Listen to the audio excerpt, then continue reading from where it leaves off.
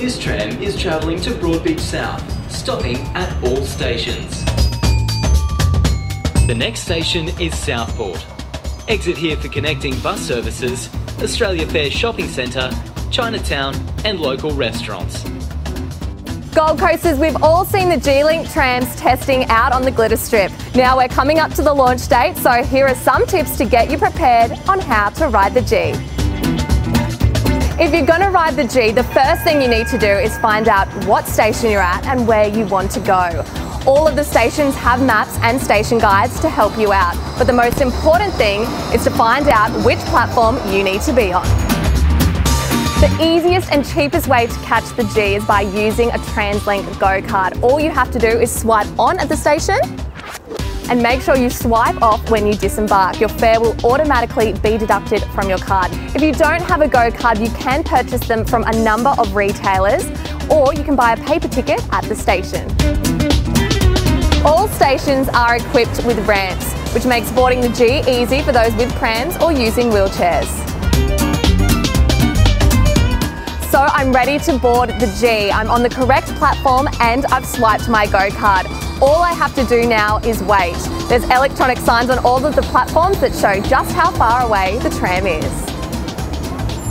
Once you board the tram, make sure you stand clear of the doors, grab hold of a pole or take a seat because the trams do brake suddenly.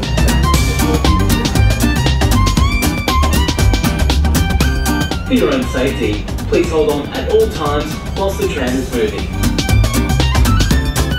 This tram will stop at all stations.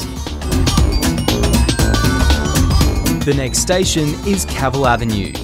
Exit here for the Surfers Paradise Beach, shopping, bars, clubs, restaurants, and intercity coaches.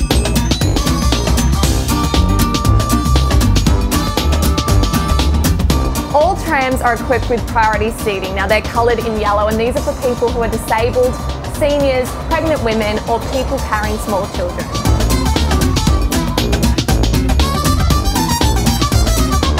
Make sure you download the MyG app. It will give you all the information you need to know about the trams at the touch of a button. Once you reach your destination, make sure you're prepared and ready to exit the tram as quickly as possible.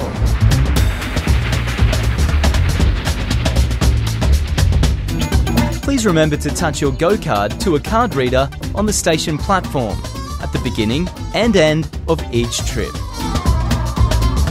Wow, that was impressive. The G-Link really is world class. Do yourself a favour and make sure you jump on board when the G-Link opens. For more information, visit ridetheg.com.au.